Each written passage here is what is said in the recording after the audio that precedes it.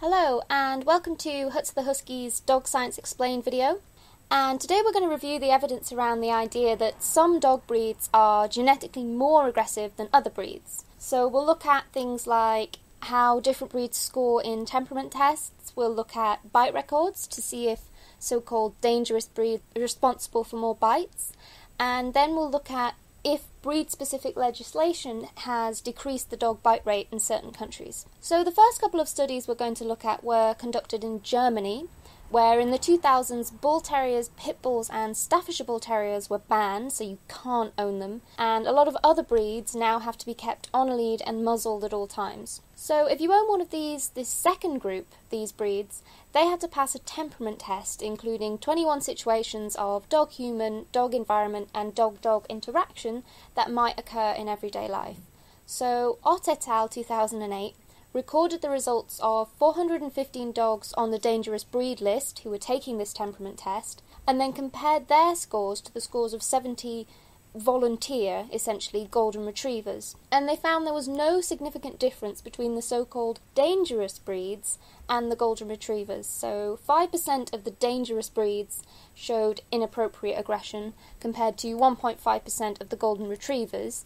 And even though that is slightly lower, this was basically purely due to chance because the dangerous breed sample was bigger, uh, there happened to be slightly more aggressive dogs. And of course, unlike the retrievers, the owners of these dangerous breeds knew that if they failed, their dog would face being put to sleep, and obviously it's well known that an anxious owner can make a dog act out. And of course, if these breeds were genetically predetermined to be aggressive, we'd expect a much higher percentage than 5%. So, next we're going to look at two studies which both use the same questionnaire to survey 5,312 owners of 30 different breeds.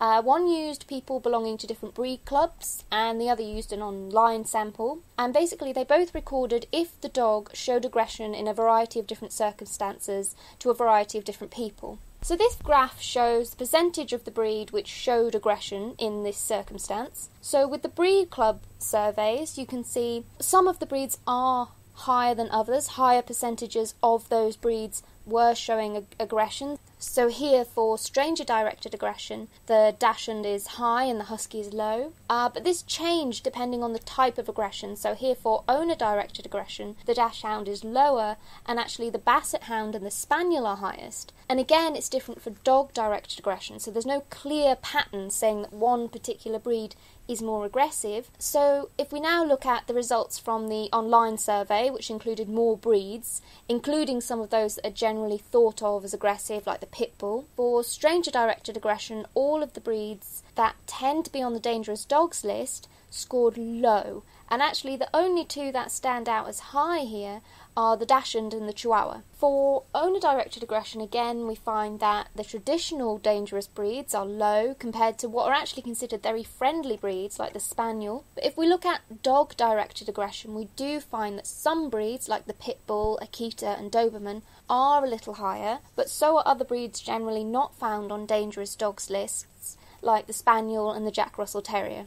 And with the aggression towards other dogs in the same house, again, the Chihuahuas are quite high and Jack Russell Terriers are quite high. And when all the data was analysed together, what the researchers found was that Dachshunds and Chihuahuas are the most likely to be aggressive, or more of Dachshunds and Chihuahuas in the population are aggressive, I should say, and that they, along with Jack Russell Terriers and Beagles, were most likely to bite their owners. Really, the only result which supports current breed specific legislation, which generally tends to ban sort of bully breeds, was that 20% of Akitas and 20% of Pit Bulls surveyed were aggressive to other dogs, but the same is true for the Jack Russell Terrier, which isn't affected by breed specific legislation. So, if we move on to bite frequency records, and we'll start with data from Australia, where pit bulls, among other sort of bully breeds, are banned. And some of the data which is used to support the banning of breeds like the pit bull is Sacks 1996, who found pit bulls were responsible for 32% of fatal dog attacks from 1979 to 1998 and 22% between 1989 and 1994. So obviously those are those are high figures when you consider the amount of different breeds there are. Uh, however, a more thorough study over the same time period found that they were actually only responsible for 6.7% of the deaths. And this discrepancy is likely to be due to an identification issue. Basically, in Australia, all bully breeds, including bull mastiffs, boxers, the American bulldog, are all called pit bulls. So when you use incidents where the breed was definitely an American pit bull terrier, the results change a lot. The other issue is that this study didn't consider the number of each breed in the population. For example, if you have 100 pit bull bites and 100 German Shepherd bites, but there are 2,000 pit bulls and 1,000 German Shepherds, the percentage of German Shepherds that bite is higher, making them, statistically at least,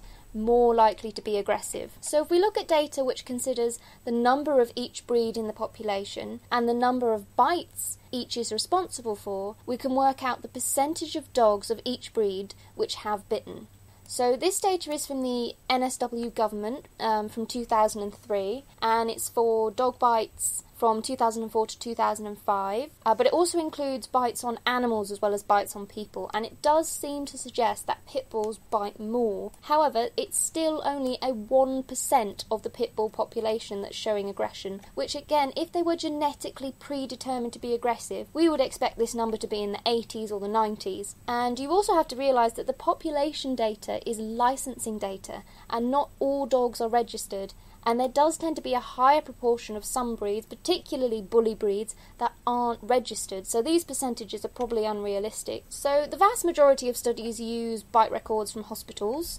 So we have a look at some of those, and this one shows that crossbreeds were responsible for the most bites, followed by German Shepherds. And again, Thompson 1997 analysed data from Adelaide Hospital and found most were caused by German Shepherds, with bull terriers and other breeds being nearly half as likely to have caused a bite. So the German Shepherd was twice as likely to be the cause of a bite than the bull terrier breeds. The issue with these studies is, of course, not all bites require hospital treatment, so they tend to exclude the smaller breeds who only give very slight injuries. So Van der Kurt 1999 conducted a survey of 413 dog bites that occurred in public places, and again you can see German Shepherds were the cause of most bites, followed by cattle dogs, and the breeds often labelled as aggressive, like the Pit Bull Terrier and the Bull Terrier, are much lower, much less likely to have been responsible for these bites. Next, we'll look at data collected by the Breeds Association of 750 bites, and you can see again, apart from crossbreeds, German Shepherds and cattle dogs caused the largest proportion of bites, and the American Pit Bull Terrier was responsible for only 0.4%. Obviously, all this data is limited as German Shepherds and cattle dogs are a very popular breed in Australia, so probably very few individuals bite, but this highlights that the popular view that most dog attacks are caused by dogs on the dangerous dog list isn't supported by evidence. And dogs which come out looking as the most dangerous in, in dog bite data, which is used when legislation is created, varies wildly depending on the data you've used, and there's no real predictable relationship between the number of bites and the breed. Obviously, the other argument is that certain breeds are more dangerous because they are physically capable of causing a lot of damage when other breeds aren't. However, there was a study by Ryan in 2002 which documented several serious injuries inflicted on children by toy breeds, so things like your chihuahuas. So, if we move on to a huge study that was done in the Netherlands of 1,078 dog bites, and the authors calculated the bite risk index, which is basically, like we said before, the percentage of registered dogs that have bitten, calculated by dividing the fraction of the breed in the biting population by the fraction of the breed in the whole canine population. And they did find definite breed differences with Rottweilers, Dobermans, German Shepherds, and Belgian Shepherd dogs being significantly above the average uh, but none of the bully breeds, which are typically thought of as aggressive, are. Uh, so, as you can see, the most aggressive dog breed tends to differ depending on the population of dogs in question, suggesting it's not the breed that is causing it, but rather some other factor, maybe uh, there's a stereotype, this breed is very popular with irresponsible people in a certain area, or something like that. Finally, we're going to look at if breed specific legislation has worked to reduce the number of dog bites and the number of attacks. So, the first study we're going to look at was conducted in Spain, where all dog bites have to be reported to the council, and they looked at the number of incidents in the four year period before breed specific legislation was introduced and the five years after and basically they found that of the 4,186 bites, 1,877 occurred before breed specific legislation and 2,309 occurred after. And even when you factor in that the dog population has increased over the 10 year period of the study, what you get is that the number of bites has not changed significantly. It's certainly not decreased since breed specific legislation was introduced. Now, the breed was only recorded for about half of the cases, but if we take a look at the data, this graph shows the percentage of all registered dogs that each breed makes up and the percentage of bites they were responsible for both before and after the breed specific legislation was introduced. Now, if there was no effective breed, we'd expect each breed to be responsible for about the same proportion of bites as their prevalence in the population. So these bars should be nearly equal, but as you can see, there does seem to be some effect of breed, with German Shepherds and Shepherd type dogs being responsible for more bites than expected by chance. And in any case, many more than the dangerous breeds, all of the dangerous breeds and their, their crosses put together. Uh, so these are the bully breeds, all the ones that are banned in Spain. And you can also see they're actually biting slightly less than would be expected by chance. Uh, but of course, you do have the issue that not all dog bites will be reported and not all dogs are registered. And finally, we're going to look at Klaassen et al. 1996, a study which compared the number of people admitted to a UK hospital with a dog bite injury before and after breed specific legislation was introduced, and they found that there was no significant difference. So basically, the legislation hadn't reduced the number of dog bites. The only issue with this study is that it only looked at two three month periods, and obviously, a longer study like the one before would have been more accurate. So, to summarise, the evidence suggests there are some differences between breeds in terms of aggression, but these aren't consistent differences, and due to large within breed variation, it seems that other factors have an effect.